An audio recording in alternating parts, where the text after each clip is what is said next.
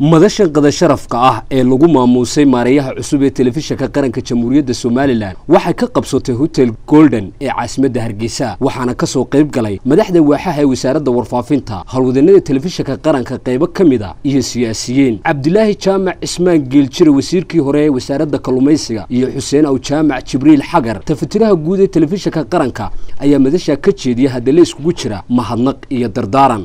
In idinka iyo isaguba intaa gacmaha isqabsataan halkaynu mar walba la doonayna inuu t v-ga qarankeenu gaadho inaa imika gaadhsiinaysaan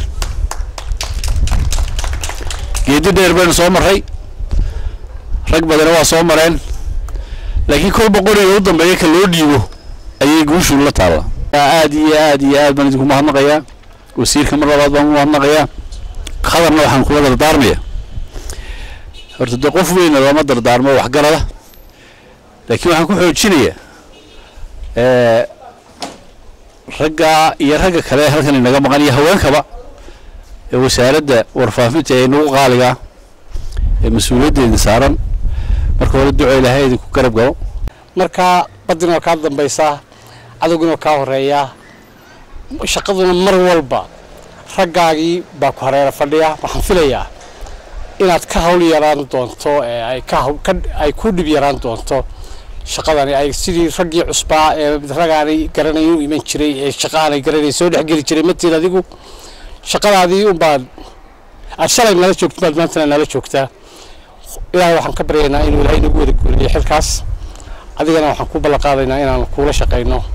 Doctor saleebaan ciise axmed xagle toosiye wasiirka caafimaadka somalilan ayaa la dardaarmay maareeyaha cusub ee telefishinka qaranka somalilan khadar maxamed cakule saaxiibkay khadar maxamed cakule uguna hambalyeeyo xilkan qaaliga ah ee madaxweynaha jamhuuriyadda somalilan mudane axmed maxamed maxamuud silaayo oo igmaday ilaahina waxaan uga baryayaa in uu xilkaa u fududeeyo kuna asturo runtii waxaan u mahadnaqayaa madaxweynaha jamhuuriyadda somalilan oo aada iyo aada iyo aad u dhiirigeliyay dhallinyarada xilal aada u badan oo muhiim ahna u dhiibay somalilan runtii waa arrin aada iyo aada muhiim waa waa arrin tusaysa sida madaxweynaha ay uga go-an tahay inuu koriyo dhallinyarada inuu diyaariyo dhallinyaradii berrito hanan lahayd dalka.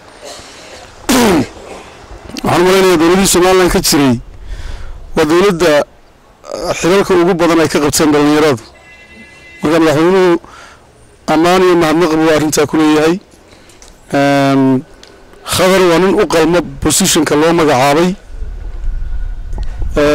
Markii ugu horreysay ee nin qolqoljooga loo magacaabo t v-ga qaranka. Oo wasaaradda ka tirsanaa. Wuxuu noqon doonaa khadar haddii uu dadaalo idina aada la dadaashaan.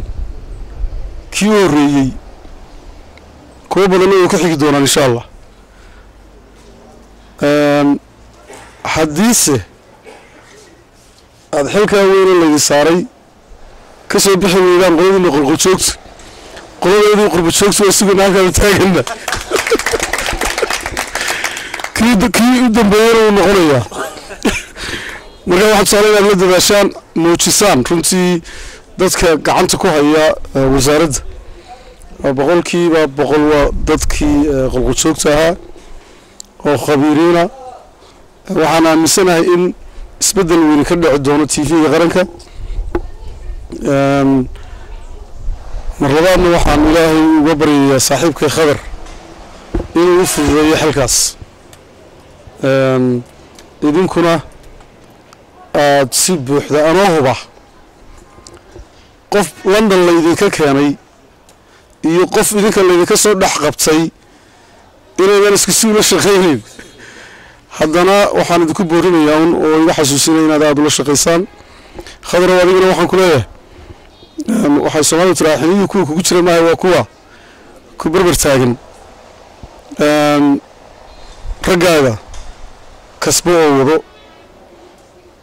Xilku waa meerto.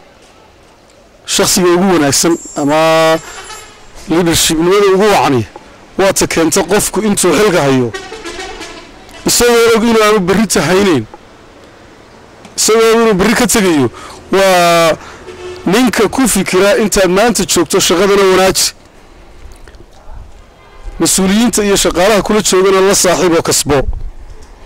Oo berrito ayaan lagu odhanin ilaah baa naga kaxeeyey ee lagu yidhaahdo ay ka xumaadaan mas'uuliyiintii shaqaalaha kula joogaa beddelka lagu bedelo khadar maxamed cakule maarayaha cusub ee telefishinka qaranka jamhuuriyadda somalilan ayaa wasiirka caafimaadka uga mahadnaqay martiqaadka uu sameeyey isagoo ballan qaaday in waajibaadka qaran ee loo igmaday uu u gudan doono sida ugu hufan ee daacadnimo ay ku jirto. Mas'uuliyadda iyo xilkaa oo aan u arko inaan arday yar ahay oo soo barbaaraya marka dhinac laga eegana shaqadii aan ku jiray uun yidhi tannaan kugu tijaabiyo. Aad baan ugu mahad celinaya mas'uuliyaddaana. Ilaahayna waxaan weydiisanaya in igu asturo. Aniguna sidii shaqada kale mikrofoonka waxba qarankayga ugala hadhi jirin uun baan rajaynaya tanna inaan ugala hadhin. Madaxweynaha kadib waxaan u mahad wasiirka wasaaradda caafimaadka doctor saleebaan oo runtii isagoo safar ku jira igu yidhi waxaan jeclahay inaan noqdo qofka ugu horreeya oo mas'uulka ugu horreeya number iyo muu xadidin hadday boqol noqdaanna wuu filayay hadday shan noqdaanna wuu filayay sidaas iminka raggii halkan ay ku wada fadhiyaan. Nin muxuu ahaayey xil waaxeed haya iyo nin xil waaxeed qaybeed farsamo haya iyo nin kaleoo muxuu ahaayey mas'uuliyad kale oo khabiirnimo ay saaran tahayba.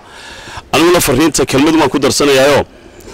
Tijaabada maanta toddobada boqol ee qof ee wasaaraddaa jooga unbaan qof ka ahay.